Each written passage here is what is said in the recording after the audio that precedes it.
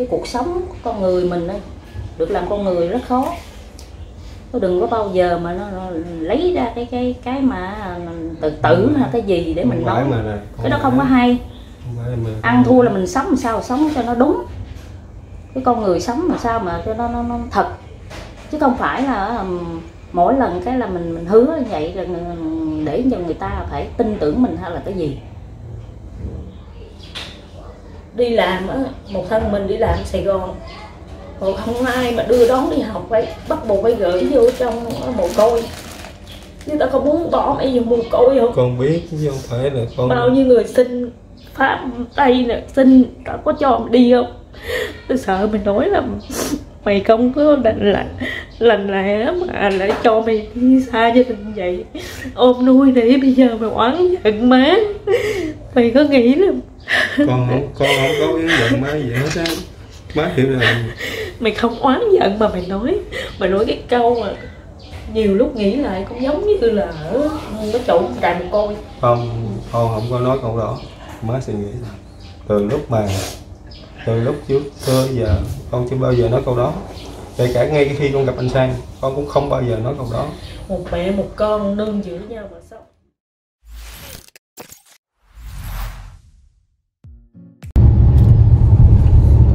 Hello, xin chào quý vị khán giả.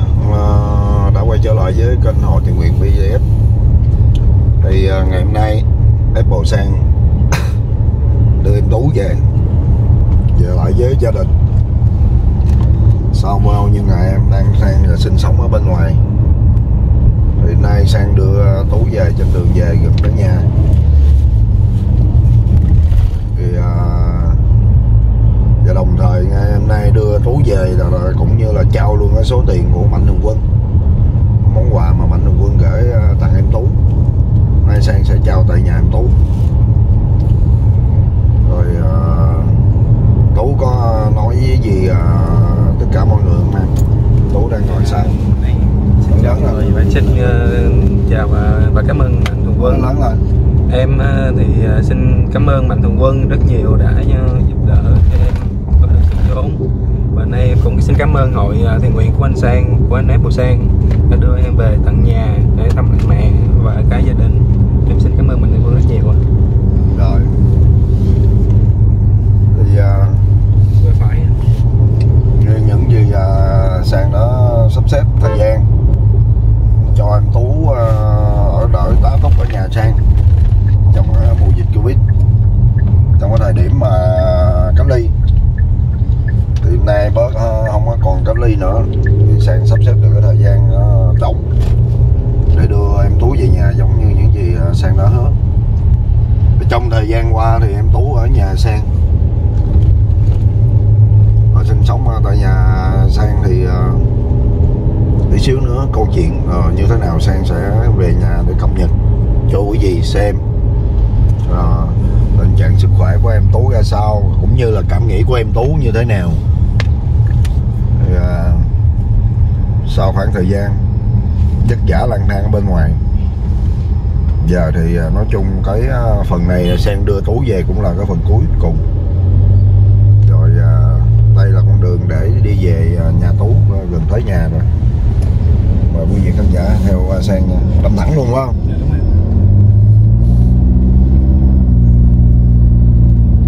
Ở đây là một địa phận của đồng nai nha quý vị.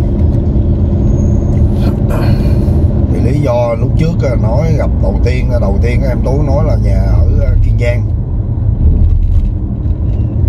sau cái lần hai em tú nói là ở đồng nai. Thì à, đầu tiên anh tú nói à, kiên giang sau khi sang hỏi lại đồng nai thì à, hỏi là tại sao nói ở à, kiên giang? Tú nó nói hô là kiên giang ở nhà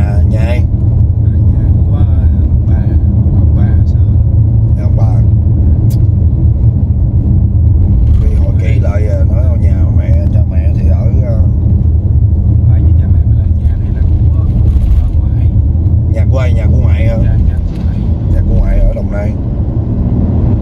Thì mẹ của tú thì ở đây. Trong thời gian qua thì mẹ tú cũng có gọi điện thoại nói chuyện với sang. Nhưng mà do là nhiều việc quá sang không có thời gian để tâm sự với mẹ của tú nhiều. Rồi à, con đường à, đi à, về nhà của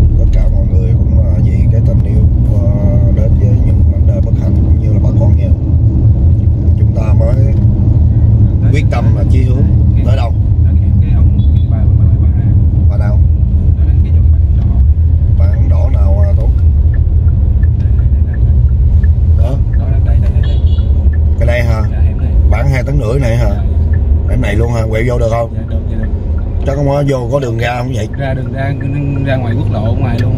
Vậy hả dạ. Ra cái đường mà hồi nãy ờ, em cho đường ngã tư em kêu anh quẹo trái vô á. Ờ.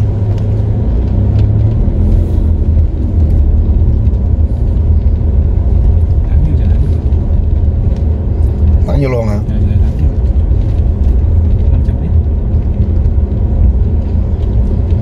giờ mà cả nhà cũng như là quý vị khán giả theo dấu chân của sang nha đi nhiều chuyện thôi cả nhà ơi.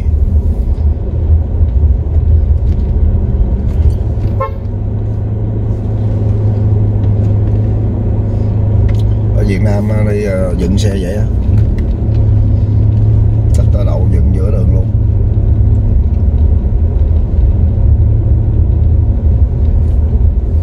Lên núi luôn không? Chạy lên núi luôn không vô đường hẻm này.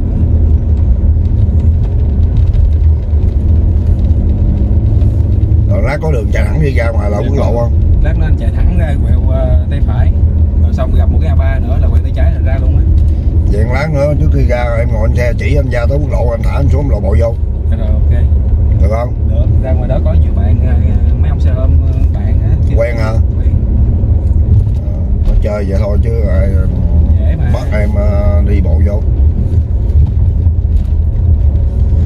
Đời em đi nhiều rồi quen. Tới chưa qua khỏi mấy nhóc không? Qua luôn qua luôn hả? Hello?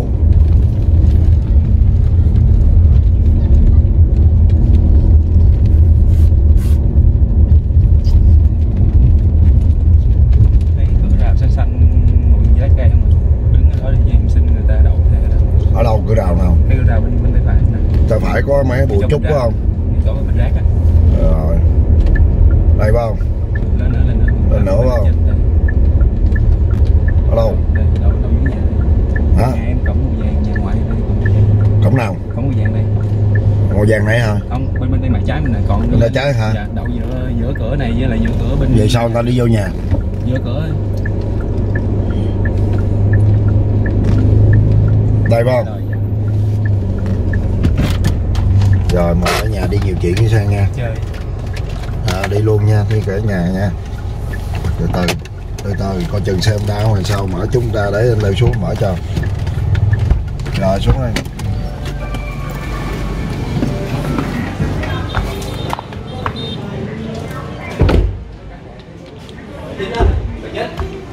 Bà chính ơi, cho con, cho bạn con đậu xe đây xíu nha.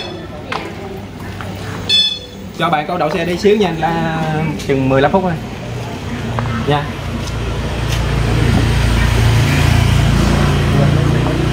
Ơi, mời cả nhà đi điều chuyển đi sang nè. Coi câu chuyện của tú như thế nào. Còn ba lô đâu?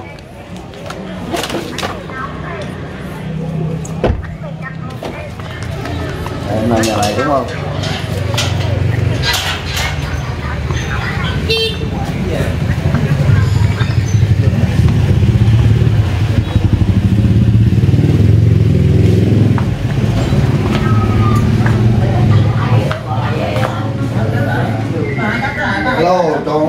Xin chào bác.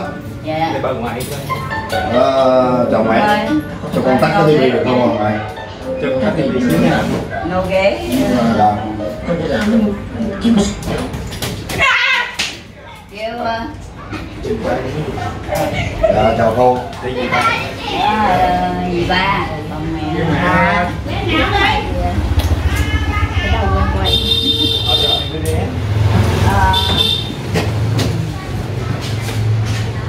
tối không? Ngõ đèn. Để Chế độ thứ ba. chú má Thứ hai. nè đó là ngõ đèn ngõ đèn anh tú. Dạ. Ngoại ngồi đi. Cứ ngồi đi rồi. Ra là để nó ngồi đây hay xuống nhà má. Ờ, vậy thôi chú xuống xuống xuống nhà má thôi chứ. Xuống xuống đi. Mở cái đèn chú ngồi đi rận chút là má Dạ. làm má nó đang ở dưới nhà dưới á đây mình cho thuê phòng trọ hả? Không không ở nhà không á. Má mười đứa con đâu mà. Nếu mà không gặp chú sang thì mày sao? Hả? Thôi đi xuống dưới nói chuyện đi. Ở trên đây nói.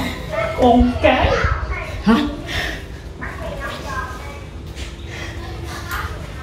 Chú biết làm sao không bà ngoại bà sợ bà xúc động á. Không không có dám để cho ngoại nghe.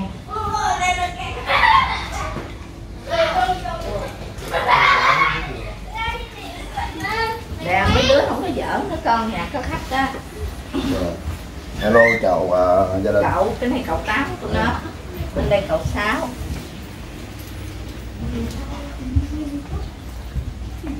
Ôi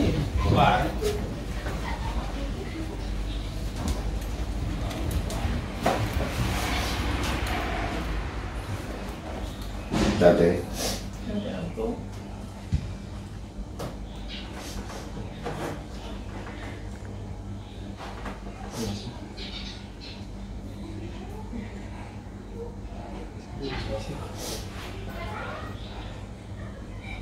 Xin gặp mẹ không chào mẹ Anh nói lớn lắm để chào rồi nhưng mà nếu như mình có đem ngồi nói chuyện với mẹ con biết con biết con hơi lắm mày bao nhiêu lần rồi, hả? Mày đi mà có biết không? Ở nhà tao cứ sợ sợ người ta đánh mày chết nên là mày bị cái gì sao? Mà sao sáng sau lần nào mày cũng vậy vậy?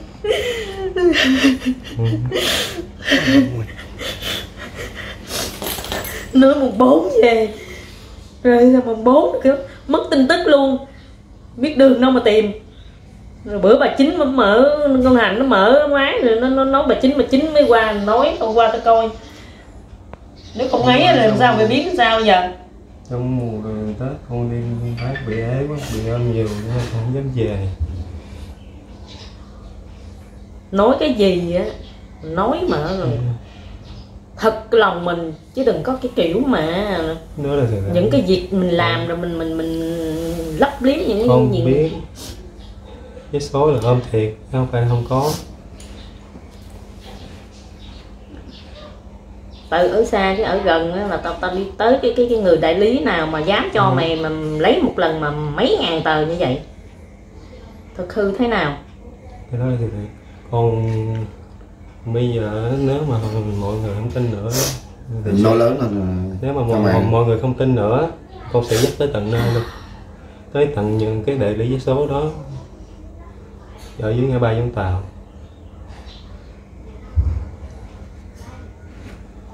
Rồi giấy chứng minh dân đâu? Thì con để với bả đó. Rồi tại sao mày biết là, là, là bao nhiêu lần rồi? Hả? Hồi trước cái một lần cũng mở đại lý vé số rồi cũng hết mấy chục triệu. Đã tao nói là liệu cơm gấp mắm. Mà tại sao mà hết lần này tới lần khác? Hồi trước cũng đòi rồi vay nhà nước cho mở cái, cái, chỗ mà mà mà, mà đại ờ, lý rau sạch. Không đồng ý rồi. Cũng mở đại lý giá số gì rồi cũng ờ, nợ nần.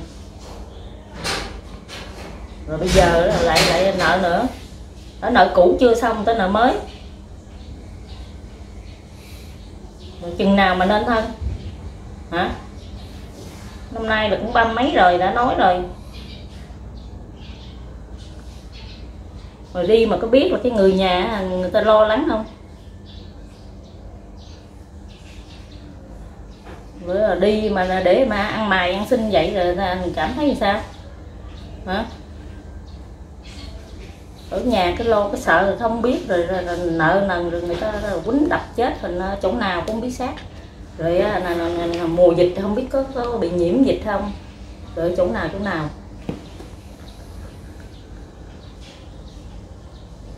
Bao trận bao phen rồi.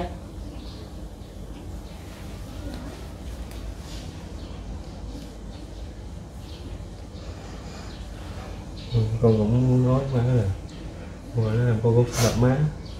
Với một lần nữa, lần này con về, con sẽ không bán số nữa mà con có một ờ, người mạnh thường quân á, là muốn thì để cho con học cái nghề là sửa điện thoại và có một một một cái anh ở trên Sài Gòn luôn cũng có tìm điện thoại ảnh muốn mời con qua ảnh dạy. Thì con cũng xin má là cho cái thời gian sắp tới cho con được uh, một hai tuần để con xem thực hư thế nào rồi con sẽ quyết định. Quan trọng cái bây giờ sống làm sao mà nó đúng cái mục đích để mình sống. Chứ đừng có sống mà trời ơi quanh năm suốt tháng lúc nào cũng nợ cũng nợ nợ ngập đầu rồi cái cái hãy mà nợ quá rồi bắt đầu rồi, rồi trốn mất biệt. Người ta đã nói là thần kinh tao không có chịu nổi nữa. Không biết có nhiều lúc người ta tưởng chừng như là tao sẽ điên lên. Mà nói bao nhiêu lời nếu nếu mình là con mình phải suy nghĩ ờ cái đó làm cho mẹ mình buồn. Thì mình không bao giờ mình làm như vậy nữa. Mà tại sao mà hết lần này tới lần khác cứ cứ vậy liên tiếp liên tiếp.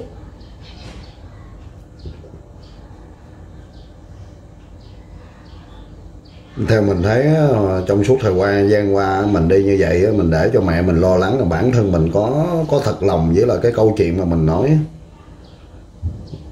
nay về gặp được mẹ là cái điều đó quý báu vô cùng. Biết cái clip đầu tiên á mày nói với chú sang một ngày mày làm mày bán được hai trăm bảy mà mày chừa là 100 á mày mày có nghĩ nếu mà mày là người mẹ mà con mình nó nói những cái chuyện như vậy á mày nếu mà mày suy nghĩ vậy đi. Còn thời gian này con muốn làm có cái rồi không cần muốn mở thêm cho nên là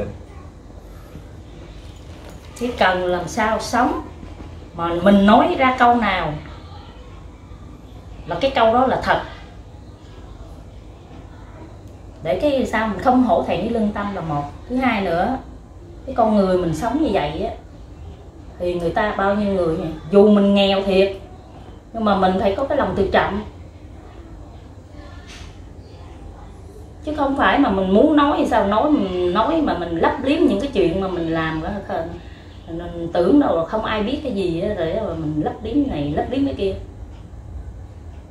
Một phần nữa con muốn nói với lại muốn nói các vị khán giả với lại con sang luôn. Cũng như cái ngày mà đầu tiên em về nhà anh á em cũng có nói là em cũng lúc đó em cũng nói thiệt với anh là ngay từ đầu em gặp anh em cũng sợ. Tại vì em sợ những người làm clip người ta chỉ quảng bá cho bạn hình ảnh bản thân mình. Khi mà em đã hiểu được cái cái đầu đuôi của sự việc xong thì lúc đó em mới nói thiệt với anh. Thì tại sao mà em để em tâm sự hết giải bày hết cho anh biết? Những người làm clip quảng bá bản thân mình như thế nào? Em à, họ họ muốn là lấy một hình ảnh của một người nào đó để họ đăng tải để họ nhận câu view của youtube hay là kênh mạng xã hội thì trong cái cuộc đời trong cuộc sống ấy, em em gặp nhiều rồi. Nhiều người cũng hứa hẹn giúp đỡ em lắm nhưng mà không có thấy một ai quay lại. Cho nên cái ngày mà em gặp anh á em cũng lo lo sợ. Rồi xong nhiều cũng nhờ cái cô mà ở cái ở chỗ cho em ở trên cái sạp á. Cô cũng cho chia sẻ cái clip cho coi cái clip thì lúc đó em mới tin tưởng anh và lúc đó mới mới chia sẻ thật lòng với anh tại sao em có suy nghĩ là những người làm quay chia sẻ hoàn cảnh là để câu view độ này kia mà mình có suy nghĩ như vậy? Và cuối cùng khi mà em gặp anh đó thì anh đến với em á bằng cái cái tình con người. cái đó, cái đó. thì nói em nói đúng ra là từ cái lúc mà anh về anh để lại gói thuốc cho em là lúc em mới cũng có cái suy nghĩ. Chứ không phải là không có. Cái buổi gặp em đầu tiên dạ. mà anh gặp em ngoài đó gửi em hộp cơm. Dạ, cho em anh còn gửi em uh, ít tiền để em bỏ túi em xài thì em nghĩ cái đó là anh đến Chứ... với em mà bằng cái tình người hay là anh đến với em bằng câu view? thì tại sao em nói vậy? không phải là tức là em đã gặp nhiều người như vậy nhưng mà khi mà em đã nhận những cái món quà của anh á thì lúc em cũng có suy nghĩ lại. Bởi vì em đem mới nên tâm sự sẽ hết cho anh với lại mọi người. Em không có có giấu một cái gì hết. Ừ. chứ không phải là em sẽ nghĩ anh. Kể cả cái cô đó cũng nói cũng đưa thấy cho coi cũng kể cả cô cũng nói rất là nhiều chứ không phải em không biết nhưng mà em cũng nói cô à. Khi mà lần đầu tiên gặp ảnh á thì con sợ thiệt. Nhưng mà khi mà ảnh để lại cái gói thuốc cho con hút thì lúc đó con mới nhận được là cái cái ờ anh em thật lòng muốn giúp đỡ mình chứ không phải là là là cầu viên hay giả dối. Nói chung ra cái cái cái cái cái, cái trong đầu em á cái lúc mà lần, lần đầu mà gặp anh á em mới em mới như vậy.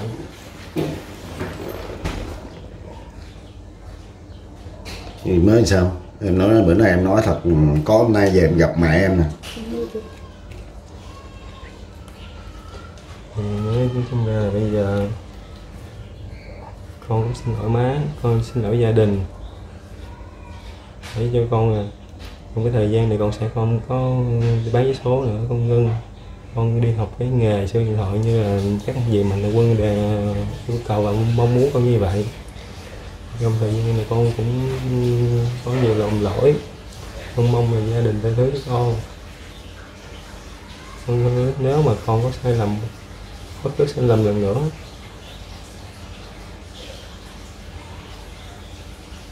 Thì con để con xin hứa là con không không còn ở trên cuộc đời này nữa. Không phải mình nói mình mình mình hứa là mình uh, phải mất mạng hay cái gì. Mình thầy đọc như vậy là tốt đâu đã bao nhiêu lần ta nói rồi. Cái cuộc sống của con người mình ấy, được làm con người rất khó. Nó đừng có bao giờ mà nó, nó lấy ra cái cái cái mà tự tử hay cái gì để mình nói. mà cái đó không có hay. Mà ăn thua là mình sống làm sao sống cho nó đúng. Cái con người sống làm sao mà cho nó nó, nó thật. Chứ không phải là mỗi lần cái là mình mình hứa như vậy là để cho người ta phải tin tưởng mình hay là cái gì Ừ. Rồi Còn- vì sao? còn- con con con sẽ chứng minh cho má. Trong cái trong cái, cái thời gian vậy xong thì con sẽ không đi bán nữa mà con đi học cái nghề. Quan trọng là bây giờ sống mình biết cái hoàn cảnh mình nó không phải như người ta. Sống đừng có sống mà mà, mà mơ cao quá. Mình là nghèo chứ không phải mình là thiếu gia đại gia. Ăn uống thí dụ có 200 cũng phải nhín lại 100 để dành phòng thân hay là cái gì. Chứ mà có bao nhiêu tiền á, mày xài mày làm 200 thì mày xài á, hơn cái 200 đó. Tiền đâu mày bù vô cho nó hả? Không biết quý đồng tiền là một thứ hai nữa. Làm cái gì cũng vậy. Phải suy nghĩ ừ cái đó đó nó như vậy đó nó, nó, nó đúng nó sai. Nó thế nào? Còn nói nói là, à, là nhiều lúc vậy mình suy nghĩ lại là cái cái cái cũng giống như cái thời mà ở trong một câu tại sao gửi một câu mình biết đâu mà. Không biết. Tới lúc đi học thì ngoại sơ nói là mù với lại khuyết tật nên mù câm nên mà không được. Còn cái bé đó thì nó, nó bình thường thì thôi cho bé đi chỗ khác đi làm á một thân mình đi làm Sài Gòn. Còn không ai mà đưa đón đi học phải bắt buộc phải gửi vô trong mồ côi. Chứ ta có muốn bỏ mẹ vô mồ côi không? Con biết chứ không phải là con bao nhiêu người xin pháp tây nè xin ta có cho mày đi không? Tôi sợ mày nói là mày không có lành lành lành lẽ mà lại cho mày đi xa gia đình vậy. Ôm nuôi để bây giờ mày oán giận má. Mày có nghĩ là con không con không có hướng dẫn má gì hết á.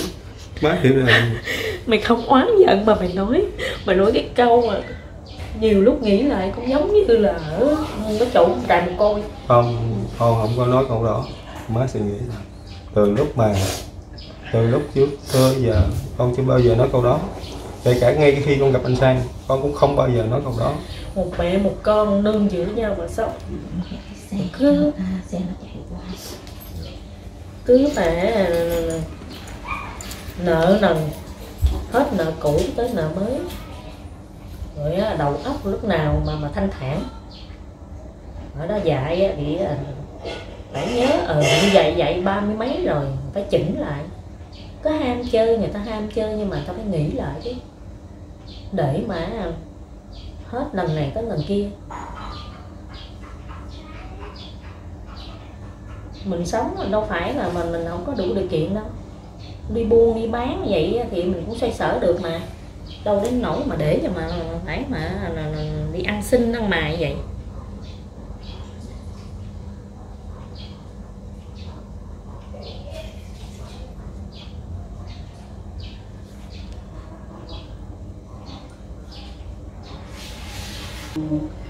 Tiếng nó để cho chiếc xe rồi bây giờ vậy ha. Thì giờ thứ nhất á mình cũng khuyên tú những gì á mình sai trái mình không có đúng với mẹ thì hãy gắng cố gắng. Ngay ngày hôm nay sau khi anh về anh cần em phải có một cái câu trả lời và một cái lời xin lỗi với mẹ mình. Thật lòng và phải hứa với mẹ mình, sống cuộc sống làm sao cho nó tốt, cho nó nên người. Đừng có như vậy. Thật ra theo cái lời nói của em, ở cái clip thứ hai thì anh không có cái lòng tin gì mấy. Nhưng do cái hoàn cảnh của em á, là người khuyết tật. Anh cũng muốn gắng cố gắng giữ em ở nhà đợi cho tới khi mà hết cái mùa dịch cách ly, anh sắp xếp thời gian để đưa em về gặp mẹ. Đó là mục tiêu của anh, khi gặp em nghe lần đầu. Dù em nói như thế nào, em có nhớ anh nói một câu không? dù mẹ mình có như thế nào đi chăng nữa, vẫn mãi mãi là mẹ mình. Không bao giờ mẹ mình bỏ. Nhớ câu nói này của anh. Cho nên em nói em muốn em buôn bán hay em làm này kia kia nọ, ở sinh sống tiếp, ở bán số trên Sài Gòn thì điều đó anh đã gạt qua một bên điều đầu tiên trong đầu anh gặp em là anh muốn đưa cho em về nhà để gặp gia đình trước lúc đó là tự em quyết định cái tương lai cuộc sống của em như thế nào, thì đó là tự em. Còn anh là anh, mục tiêu của anh là đưa em về gặp mẹ em trước nhưng qua những cái thời gian mà em sống ở nhà anh anh nhìn thấy hết từ tính cách cho tới những cái hành động của em, những cái lời nói của em. Anh chỉ khuyên em một từ. Mình kém may mắn hơn bao nhiêu người khác không đủ được tay chân. Nhưng không phải là vì cái thiếu đó mà người ta xem thường mình. Không ai bỏ mình hết quan trọng mình phải sống tốt thì đặc biệt không ai xem thường mình được hết. Em hiểu không? Anh nói ra những cái lời này em hiểu anh muốn nói cái điều gì rồi đúng không? Dạ, ha? Không ai muốn xem thường mình hết. Mình phải sống tốt.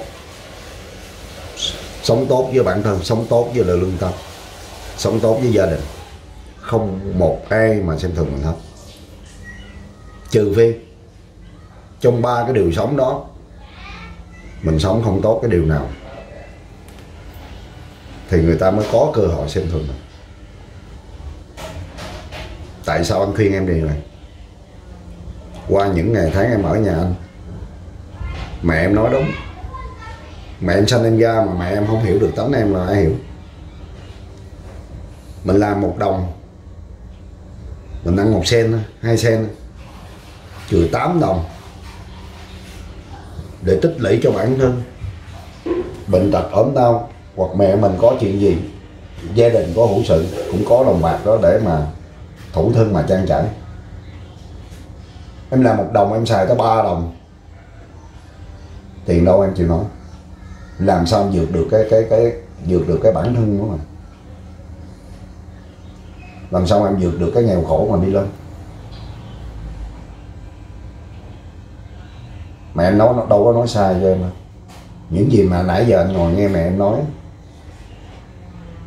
đó là sự thật. Qua những ngày tháng em ở nhà, cho nên qua cái lý thứ hai, thứ ba gì đó, anh ngừng quay cập nhật em lên tiếp để chi? Anh muốn mỗi ngày em ở gần anh để anh chỉ dẫn, hướng dẫn em cái cách sống như thế nào.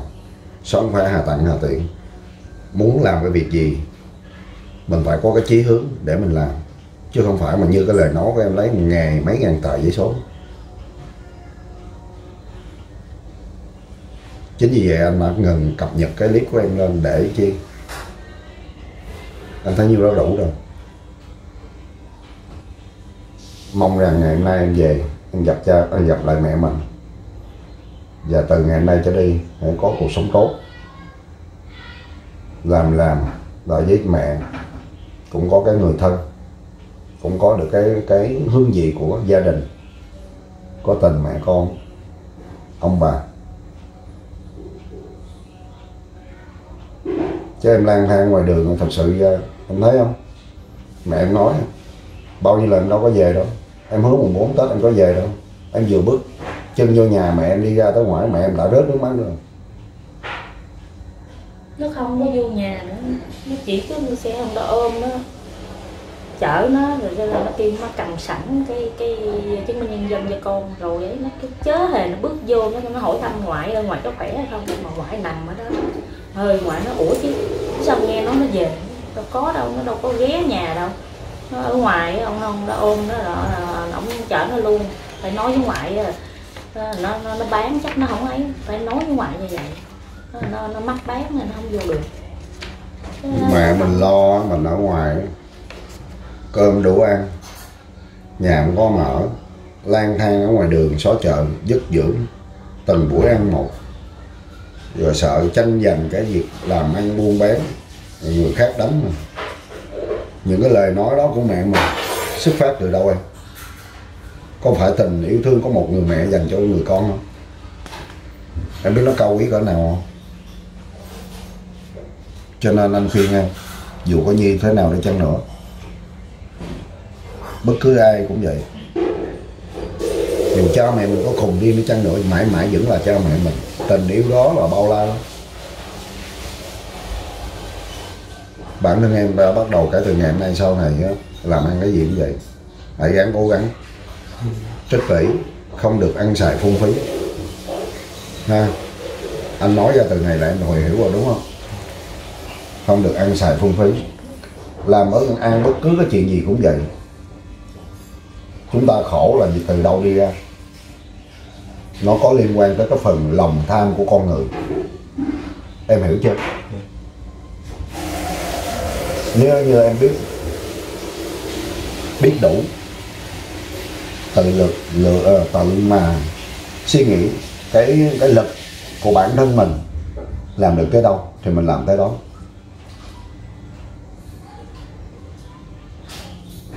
Do từ cái lòng tham của mình. Thì từ đó mình mới đổ nợ.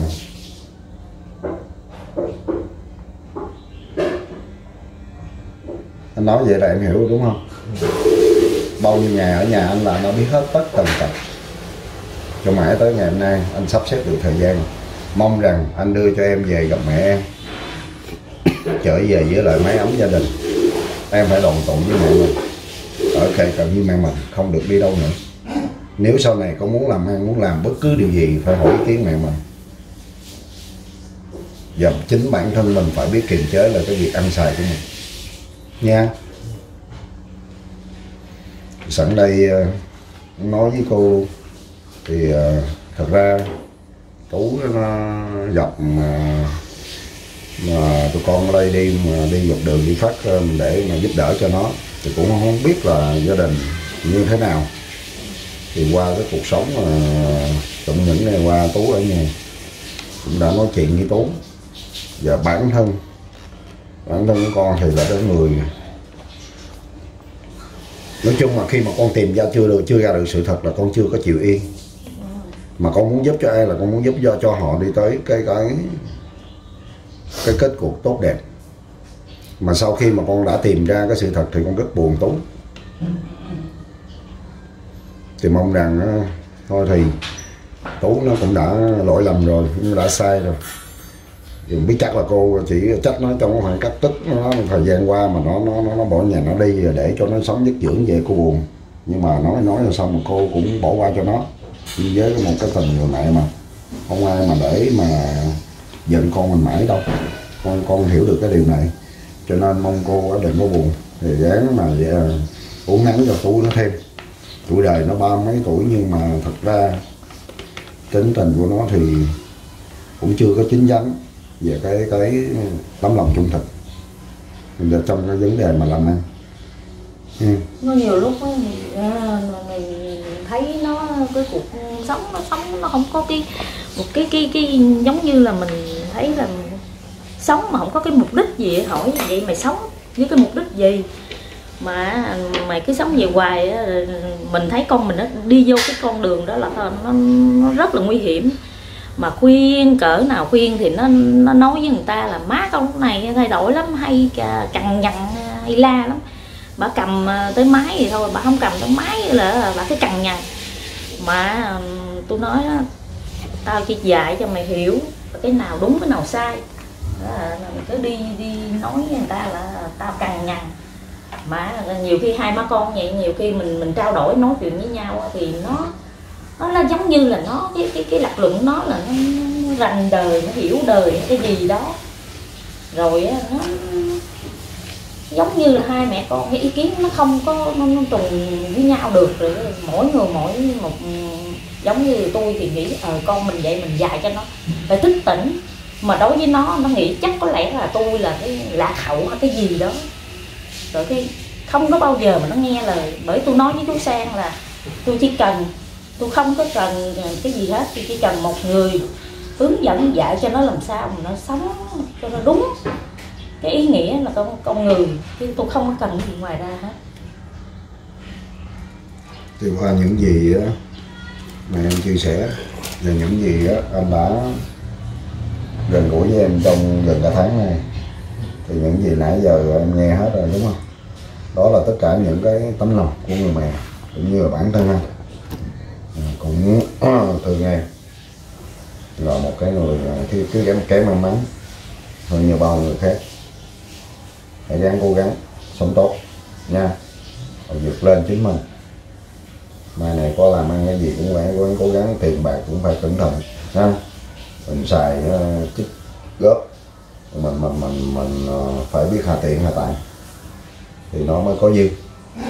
Và đồng thời hãy gắng cố gắng. Mỗi ngày cầu nguyện cho mẹ mình luôn bình an. Thì bản thân mình sẽ được bình an. Việc đầu tiên hãy cho đi. Cho đi cho cho là cho em cho cha cho mẹ mình trước đi. Ha? Dù mình không làm được gì cho cha mẹ không nuôi được cha mẹ ngày nào. Nhưng nên làm một cái điều đúng đắn nhất, hãy luôn cầu nguyện cho mẹ mình luôn bình an. Cầu nguyện đi em em niệm phật, em cầu nguyện đi. Thì mẹ mình bình bình an, thì mình cảm thấy cuộc sống này nó, bản thân mình mới có giá trị, có hạnh phúc. Và sự nhiệm màu mà mình đã quyết tâm mình cầu nguyện cho mẹ mình, thì mình sẽ luôn được bình an. Em tin anh điều này đi. Ừ ở nhà anh thờ Phật pháp như thế nào? Em biết mà đúng không? Biết. Ừ. ở trong nhà anh nó gần cả tháng nay em biết rồi đúng không? Cho nên chúng ta hãy gắng cố gắng sống tốt. Sống như thế nào mình phải học hỏi theo những gì Đức Phật chỉ dạy. Không ai chạy đi cầu nguyện đốt nhang ngày mai cho tôi trúng số không bao giờ. Đức Phật không cho ta tất cả nhưng Đức Phật chỉ cho ta sống như thế nào để có được tất cả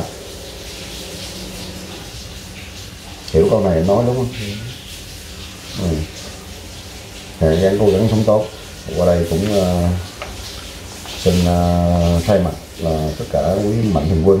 Uh, có cô đây thì con xin đọc cái tên danh sách của những người gửi tiền cho uh, tú. Trong thời gian qua thì đợt trước đã gửi cho tú rồi thì cũng đã chi cho tú. Tú lấy bỏ sàn hết rồi. Thì uh, những cái đợt sau mạnh thường quân gửi số tiền này thì ờ, con cũng không có trao cho tú. Vì thấy sao chứ em tú nó nó ăn xài nó nó không có cái kỹ lưỡng trong cái vấn đề tiền bạc. Thì sợ mà đưa hết cho tú thì tú nó mới là xài hết. Chính vì mà con muốn giữ cái số tiền này về đây gặp cô, để trao lại cho cô cô giữ dùm cho tú. Ví dụ tú nó muốn làm ăn như thế nào, cô giữ chi chi về cái số tiền này ra cho tú để tú làm ăn, để mong cho cuộc sống sau này nó tốt hơn đó. Thì bây giờ nè à, đọc đầu tiên là cô đang thị đang gửi cho em một triệu đồng. Chú huynh văn xếp gửi cho em 4 triệu 428 ngàn đồng. Phương Dược gửi cho em 600 ngàn đồng. Bé Lê Bình Quế gửi cho em 500 ngàn đồng. Dấu tên uh, 2 triệu 353 ngàn đồng. Dì ba Singapore, gửi cho em 3 triệu đồng. Phan Thanh Thi, gửi cho em 300 ngàn đồng. Phạm Hoàng, gửi cho em 200 USD Hạnh Huỳnh, gửi cho em 100 USD Châu Lệ Lâm, Huệ Lâm, gửi cho em 1 triệu đồng. Bobby Trần gửi cho em 50 USD Nguyên Vũ gửi cho em 100 USD Tổng số tiền đâu mà em có được là 450 USD tương đương với lại 10 triệu 350 ngàn đồng. Còn tổng số tiền Việt em có được 13 triệu 181 ngàn đồng. Thì hai cái cộng lại em được 23 triệu 531 ngàn đó là cái số tiền mà anh Quân cho đợt hai. Còn đợt trước anh đã đưa em hết rồi. Và những người đi đến nhà anh đã gặp em mà trao cho em những cái số tiền đó tại trực tiếp trao cho em rồi. Dạ. đúng không? Dạ. rồi tới ngày hôm nay còn đồng nào trong người không? Dạ, cũng còn được được hai trăm mấy. Hai trăm mấy chục ngàn. à, một triệu ba anh anh gửi cho em ngày đầu tiên. Thế là ngày sau cô với cô gì gửi? Thật ra cái số tiền mà trao trong đợt một người ta lấy đến là người ta cho em nếu mà em biết hà tiền hà tận thì nó cũng dư được một mớ khá khá. Mà thậm chí là khi mà em xài hết số tiền đó em mượn của cường nướng sườn 800 ngàn. Tổng tổng lúc em em ở nhà anh em em em, em xài mà trừ cái ờ, học tính của anh cường ừ. thì cho nên bây giờ ngày nay em sẽ trao số tiền này cho mẹ. Làm ăn cái gì? Phải tính suy nghĩ cho kỹ để nói mẹ mình gửi tiền cho mình, để mình làm ăn. Đừng bao giờ để xài quá để rồi mình lâm vào nợ nha. Thì cơ hội tất cả những gì mà mạnh thường quân ta muốn chia sẻ để gửi đến cho mình, hãy gắng cố gắng sống tốt, giữ cái số vốn này để làm ăn cho nên người. Đừng để cho nó mất nữa. Giá trị của con người nó nằm ở chỗ đó mình phải biết cầu tiến phải biết vươn lên, sống tốt cho bản thân, phải biết suy nghĩ đến cho những người thân xung quanh bên gia đình của mình nữa, ha. Thì đó là cái giá trị sống của mỗi con người. Em đồng ý không Em đồng ý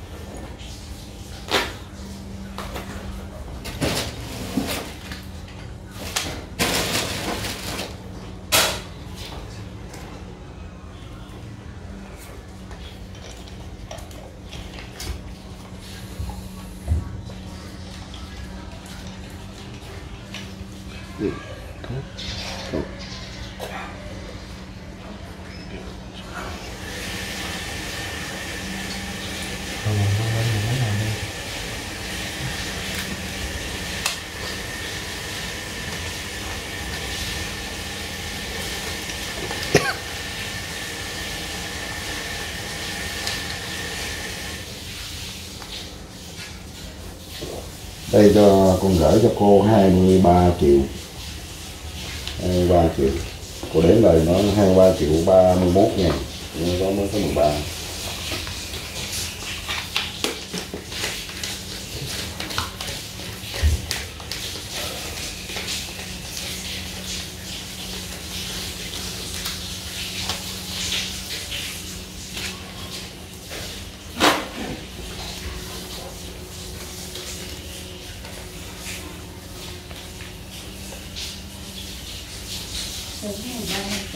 ba năm trăm ở đây 10 triệu nữa thôi này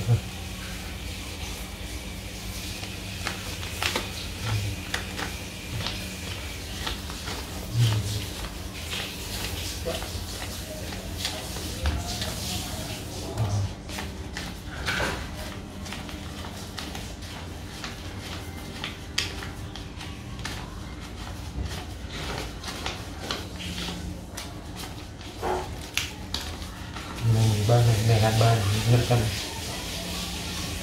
Eo 3 triệu 531 ngàn đồng. Thì số tiền ngày hôm nay đã đưa Tú về tới nhà để đồng thủ với gia đình và cũng trao cho Tú. 23 triệu 531 ngàn đồng đủ. Nghe kỹ, anh dặn lần cuối. Hãy trân quý tất cả những đồng tiền này của quý Mạnh Thu Quân gửi đến cho mình. Và dùng số tiền này làm những cái việc đúng đắn nhất để giúp cho bản thân mình vượt qua những cái sự khó khăn đó là điều anh mong muốn và cũng như tất cả mọi người mong muốn. Đừng làm phụ lòng của tất cả quý vị mạnh thường thường quân em cũng thì nói lớn anh giùm sau đây cũng xin cảm ơn à, quý vị mạnh thường quân và các cô chú ở bên à, nước ngoài kể cả trong nước và cái hội thiện nguyện của anh Sang và gia đình của anh Sang. Em xin à, chân thành cảm ơn và chúc sức khỏe tới toàn thể mà quý vị mạnh thường quân và cả gia đình anh Sang một có một sức khỏe dồi dào có được cái năng lượng để đi làm những việc khác giúp đỡ cho những cái hoàn cảnh khác. Và em cũng qua đây cũng ờ, xin ờ, nói với lại mà quý vị mình thường quân cái số tiền này em sẽ gửi đó để cho mẹ em giữ. Và khi trong thời gian tới em sẽ đi học cái nghề sửa điện thoại giống như có những những cô chú uh, muốn muốn nói là muốn em học trong cái thời gian còn ở nhà của anh Sang. Và cái số tiền đó khi mà em sẽ là cái số tiền đó em trang trải những cái ngày mà đi học cái nghề sửa điện thoại. Và để dành cho đó làm một cái vốn để sau này khi mà em đã sửa học thành nghề rồi em, em mới quyết định sau. Và lúc đó em sẽ báo cho anh Sang biết.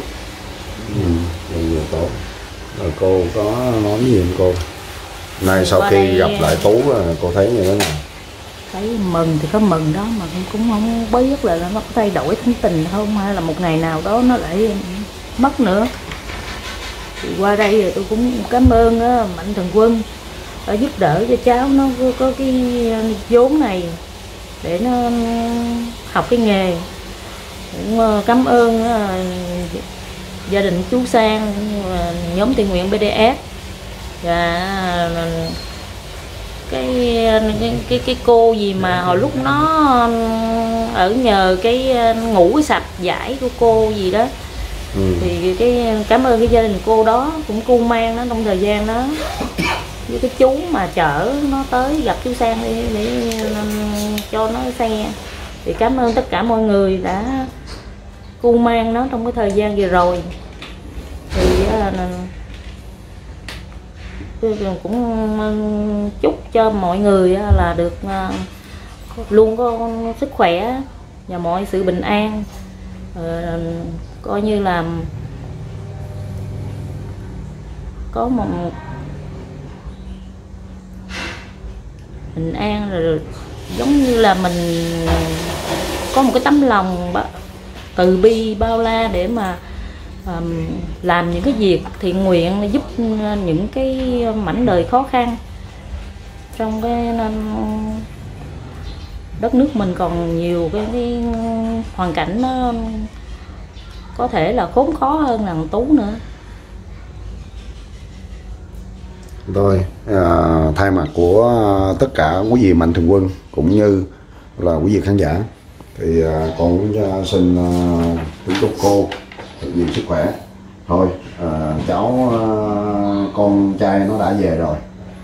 Ha, cô gắng cố gắng. À, cái gì cứ tha thứ được cho tha thứ được cho nó. Thì cứ cô tha thứ. Rồi bên cạnh đó cố gắng cố gắng uốn nắn nó thêm. Thì tính của con tú thì thật sự nó cũng chưa chuyển trạng. Nó không có chuyển trạng để mà tại vì tôi không dạy nó nên là tôi, tôi chứ còn nếu mà tôi dạy nó tôi không có lo. Dạ. Tại vì tôi không tôi nói giống như là tôi biết biết là tôi không có dạy được nó.